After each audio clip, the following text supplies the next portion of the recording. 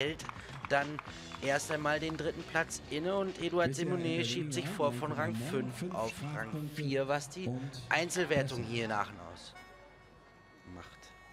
Jetzt in der Bahn Vater Eisbrand Chardon. Ja, der für Fahrsport in den Niederlanden steht wie kaum ein anderer. 27-facher niederländischer Meister, zweimal Europameister, darunter momentan amtierend. Letztes Jahr die Goldmedaille bei der EM im schwedischen Göteborg.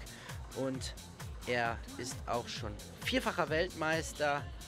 Dreimal hat er den FEI World Cup für sich entscheiden können. Letztes Jahr hier nach einem super Auftritt, Rang 3. Also der Eisbrand Chardon ist absolut eine Koryphäe im Fahrsport. Dieses Jahr auch sehr stark schon unterwegs gewesen. Im, gleich zu Beginn Beginn der grünen Saison in Exlo Rang 2, in Windsor vierter Platz.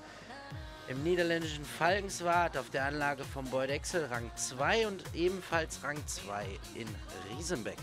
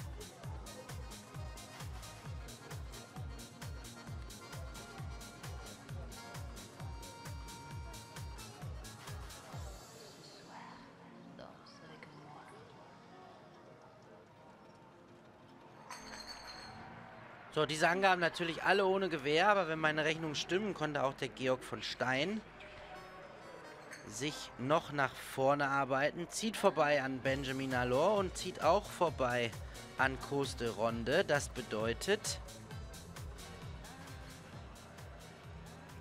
für Georg von Stein momentan Rang 5 in der kombinierten Wertung. Also mindestens, die anderen kommen ja noch.